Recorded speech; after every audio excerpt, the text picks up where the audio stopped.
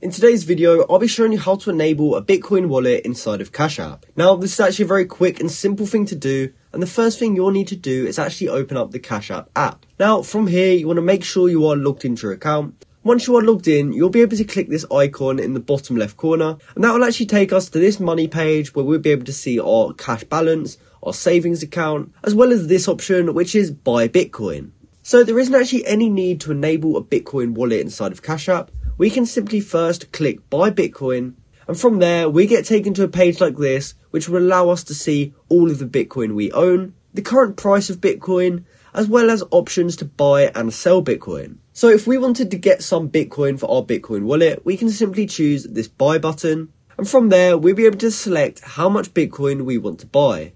And we'll also be able to set up recurring orders so that we can buy every day or every week and this can be good if you're trying to invest in Bitcoin over a long period of time. So if you have successfully bought your Bitcoin, you can then click on your Bitcoin and you can also do some more things with it. So here we can see our Bitcoin wallet and this will allow us to actually receive Bitcoin if we wanted to send it from a different Bitcoin wallet that we owned. Or we can even withdraw the Bitcoin. So we can take it out of our Cash App app and we can send it over to a different Bitcoin wallet of our choice. But other than that, that's how you can enable the Bitcoin wallet inside of Cash App. Hopefully you now know that you don't have to enable it, you simply have to just buy a bit of Bitcoin or head over to your wallet so that you can send some in.